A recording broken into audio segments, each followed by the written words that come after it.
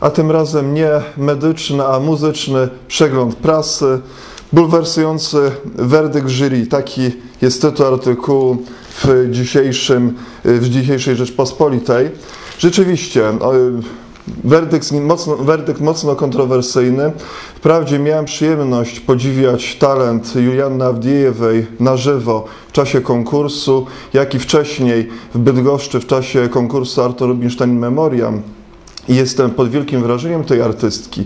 Jednak y, podzielam opinię większości y, komentatorów czy publiczności, która raczej spodziewała się dla niej wysokiego miejsca, być może drugiego, być może trzeciego, ale jednak nie zwycięstwa. Bardziej przekonywujący y, i lepiej dotarł do publiczności z pewnością Austriak Wunder, ewentualnie również inny Rosjanin Trifonow. Cóż, jury ma swoje własne przemyślenia, swoje własne wizje, które często nie są zgodne z wizją y, melomanów. Mam nadzieję, że jednak w przyszłości te wizje y, będą bardziej zbieżne y, i te werdykty nie będą tak bardzo kontrowersyjne, jak to miało miejsce w tym roku. Dziękuję bardzo.